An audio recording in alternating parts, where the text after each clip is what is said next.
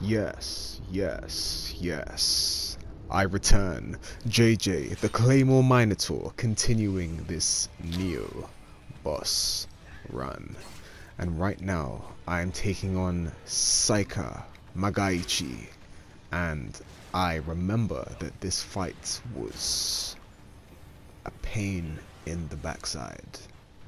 Mostly because I did not realize that he has one fatal flaw in his game. You see how he takes to the air and does damage?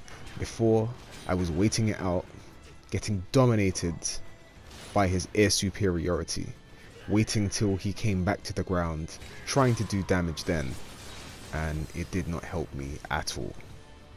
Then I realized if you catch him in mid-air with any kind of projectile, he's on the floor and left open. Now he has a few attacks. Obviously he's got those melee attacks with his sword, he'll roll around and shoot you a few times.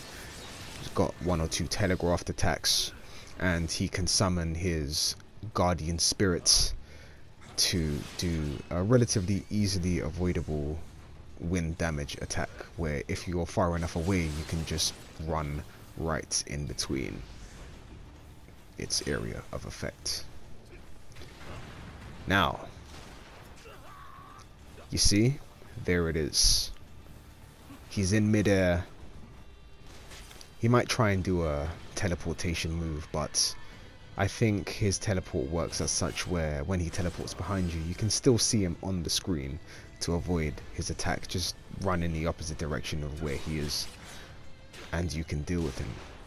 But the fatal flaw in his attack style and patterns is that he goes up into the air and like Icarus flies far too close to the sun and his wings are burnt and he falls to the ground leaving him wide open for your OTG grapple attack which does serious damage. And in the meantime he does hold a bit of a beating from your standard attacks.